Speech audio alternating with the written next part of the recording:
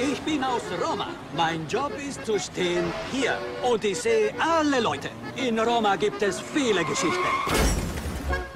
Sie haben uns ein so tolles Zimmer gegeben. Du hast halt einen klugen Mann geheiratet. Ich habe einen IQ von 150, 160. Du rechnest in Euro. In Dollar ist das viel weniger.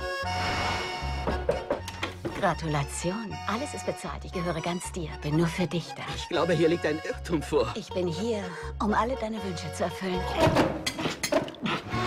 Als ich so alt war wie du, habe ich auch ein Jahr in Rom gelebt. Ich glaube sogar hier in dieser Straße. Komm doch mit, meine Freundin macht einen guten Espresso. Meine beste Freundin hat gerade mit ihrem Freund Schluss gemacht. Ich habe ihr gesagt, sie kann bei uns wohnen. Sie ist klug, hat Humor. Die Männer liegen ihr zu Füßen. Das muss an ihrer sexuellen Ausstrahlung liegen. Ich hatte schon immer irgendwie den Drang, mal mit einer Frau zu schlafen. Und als es dann passiert ist, war es unglaublich. Sie ist der Hammer, oder? Ciao zusammen, ciao, Kinderchen. Hey, da ist er! Was soll das? Sind Sie verrückt geworden? Du bist berühmt! Was haben Sie heute gefrühstückt? Na, äh,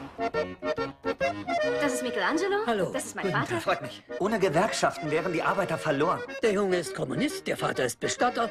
Leitet die Mutter eine Leprakolonie? Das TV-Ereignis der Woche. Wir berichten heute live für Sie, wie dieser Mann sich rasiert. Vom ersten bis zum letzten Barthaar. Die ganze Zeit auf dem Rücken liegen und arbeiten, das kann man sich gar nicht vorstellen. Ich mir schon.